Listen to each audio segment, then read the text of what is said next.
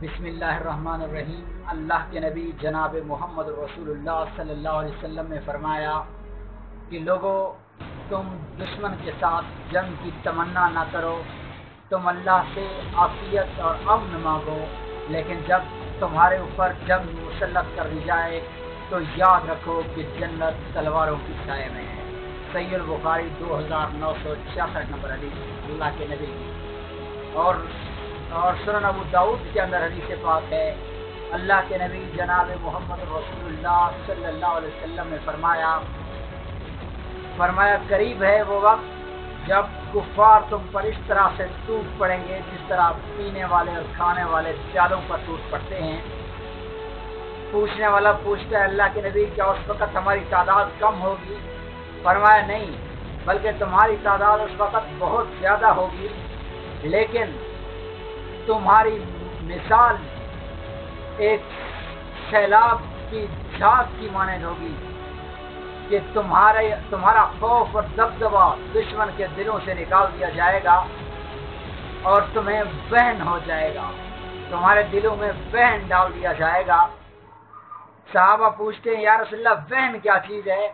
فرمایا، وہ دولت کی، دنیا کی محبت اور موت کا ڈر ہے۔ سنن ابو داود کے اندر حدیث ہے چار ہزار دو سو ستانوے نمبر۔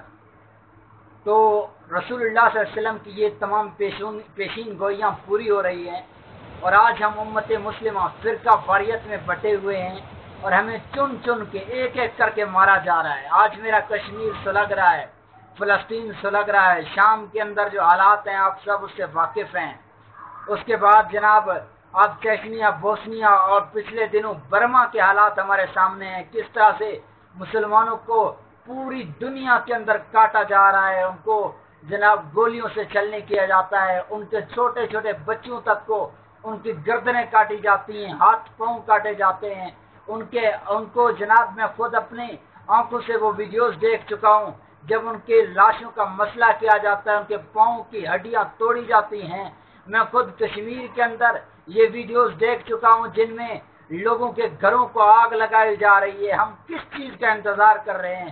یا اس وقت کا انتظار کر رہے ہیں جب ہمارے اوپر یہ حالات آئیں گے؟ آج اگر تم تم اگر ڈر گئے، اگر تم یونائٹڈ نہ ہوئے، ایک ساتھ امت مسلمہ نہ ہوئے اس کشمیر کے مسئلے کے اوپر، تو یقیناً تمہارے اوپر بھی وہ وقت آئے گا۔ تم جو ہے، تمہیں ایک ایک کر کے کاٹا جا رہا ہے، تمہیں ایک ساتھ تم وہ پاور ہو جو ایک ساتھ کسی سے کٹ نہیں سکتے۔ آج ڈیڑھ ارب کی آبادی ہے۔ ہم سب کے سب مظلوم ہیں۔ سب کے سب ایسا لگتا ہے کہ ہماری اپنی کوئی ویلیو نہیں ہے۔ ہم امریکہ کو اپنا خدا سمجھتے ہیں۔ ہم جو ہے کفار کے سامنے ڈٹ نہیں سکتے۔ آج آج آج انڈیا کے خلاف ہم بات نہیں کر سکتے۔ ہم یہ نہیں کہہ سکتے کہ انڈیا کے اوپر ہم حملہ کریں گے۔ کیوں؟ کیونکہ صرف ہم مارے جائیں گے، ان کی تو کوئی جانے نہیں ہے۔ قیمتی جانے تو تمہاری ہیں۔ اللہ کے بندو، تم تو تم تو جنت کے حقدار ہو۔ تم تو جنت کی امید رکھنے والے ہو۔ جو جناب، جو بتوں کی پوجا کرنے والے، پتھروں کے پجاری ہیں، وہ اپنے مشن کے لیے جن کو کوئی آخرت ہی نہیں ہے، وہ ڈٹے ہوئے ہیں اپنی بات کے اوپر۔ اور جن کے لیے اللہ نے جنتیں تیار کی ہوئی ہیں، وہ ڈر رہے ہیں، بھائی، کیوں ڈر رہے ہو تم لوگ؟ تمہیں تو، تمہارے لیے اللہ نے جنتیں تیار کی ہیں۔ جاؤ جو لوگ کفر ہے، جو لوگ جناب جن کا کوئی ایمان نہیں ہے، کوئی عقیدہ نہیں ہے، کوئی جنت جن کے لیے نہیں تیار کی گئی، وہ اگر اپنے کفر و الحاد پر ڈٹے ہوئے ہیں، تو ہم جنت میں جانے کے لیے تیار ہیں۔ اگر وہ جہنم واصل ہونے کے لیے تیار ہیں، تو مسلمانوں، اللہ کا واسطہ دے کے کہتا ہوں، کھڑے ہو جاؤ، تمہارے اوپر وگرنا یہ حالات آئیں گے، اگر تم آج نہ کھڑے ہوئے کشمیر کی خاطر، فلسطین اور چیچنیا کی خاطر۔ آج خصن میں کشمیر کی بات کرنا چاہتا ہوں۔ آج کشمیر کے اوپر جو ظلم و بربریت ہو رہی ہے، ہم سب کے سامنے ہے۔ آج ہمیں کھڑے ہونا پڑے گا، آج ہمیں ڈسیزن لینا پڑے گا۔ اللہ کی قسم، زندگی یہ اللہ نے دی ہے، یہ اللہ کی امانت ہے۔ موت تو ایک نہ ایک دن آنی ہی آنی ہے۔ کیا کیا تم نہیں چاہتے کہ عزت کی موت آئے؟ ساری زندگی ہم ذلت کی زندگی جینے سے ہمیں ایک دن کی وہ موت اچھی ہے جو عزت سے ملے۔ ہم مر سکتے ہیں۔ اگر اٹامک بم گرانے سے ہم مریں گے تو وہ کفار بھی تو نہیں جیئیں گے۔ کیا وہ اتنے بڑے دلیر ہیں کہ وہ جناب جنگ کے لیے تیار ہیں اور تم تیار نہیں ہو؟ تمہیں تیار ہونا پڑے گا، کفار کے خلاف تمہیں ایک دکھانی پڑے گی۔ تم اللہ پر ایمان رکھنے والے لوگ ہو۔ تمہیں اللہ اکبر، لا الہ الا اللہ کا نعرہ لگا کر کفار کے سامنے شیشہ پلائی دیوار بننا پڑے گا۔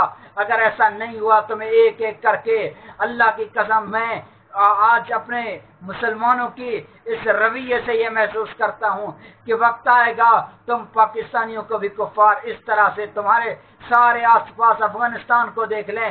ایران کے اوپر سارے اقتصادی پابندیاں لگ گئی ہیں۔ آپ کے کشمیر کے اندر آپ پر ظلم و ستم ہو رہا ہے۔ کون سی جگہ ہے جہاں پر مسلمان محفوظ ہیں؟ ہر جگہ پر مسلمانوں اسلام و فوبیا کے ذریعے مسلمانوں پر جو ہے وہ اس کے پر الزام بھی مسلمانوں پر لگتا ہے۔ حالانکہ دنیا کے اندر ہر جگہ مسلمان مظلوم ہیں۔ امریکہ، جس کے خلاف ہم بات نہیں کرتے، حافظ سعید کو ٹیررسٹ کہتے ہیں۔ ہم جو ہے ٹیررسٹ آپ کہیے، لیکن اس کو بھی ٹیررسٹ کہیے۔ جنہوں نے جنہوں نے جو ہے کشمیر کے اندر وہ سپورٹ نہیں کرتے۔ انسانیت کا جو ضیاء ہو رہا ہے، ہیومینٹی کی تنظیمیں بنائی ہوئی ہیں۔ کس چیز کی تنظیمیں ہیں؟ اور دوسرا جناب، فلسطین کے اندر مسلمانوں کے جانوں کا ضیاع ہوتا ہے، کچھ نہیں ہوتا۔ برما کے اندر مسلمان کاٹ کر پھینک دیے جاتے ہیں۔ کچھ نہیں ہوتا۔ شام کے اندر جو ہے، وہ کاروائیاں ہوتی ہیں، مسلمانوں کا قتل عام کیا جاتا ہے۔ کوئی کچھ نہیں بولتا۔ کس چیز کی آپ کی یو این او ہے؟ کس چیز کی ہیومینٹی ہے؟ او آئی سی جو ہے، ایک بیان دے دیتی ہے ٹویٹر کے اوپر۔ تو یہ کیا چیز ہم کہاں جا رہے ہیں ہم مسلمان؟ اگر ہم ایک دوسرے کی سپورٹ نہیں کریں گے، اللہ کے نبی نے فرمایا تھا، المسلم کانہم جسد الواحد۔ مسلمان تو ایک جسم، ایک جان کی طرح ہے۔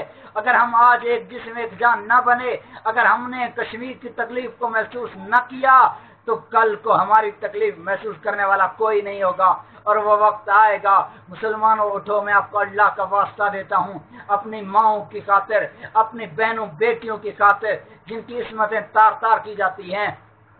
ان کی خاطر اٹھو۔ جو جو تمہاری اسلامی روحانی بہنیں ہیں، ان کے آج بھائی شہید کیے جاتے ہیں۔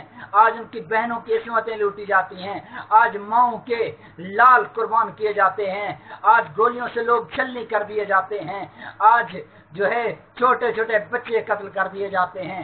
اگر آج بھی تم نہ اٹھے تو پھر پھر تم تم اپنی ذلت کے لیے تیار ہو جاؤ۔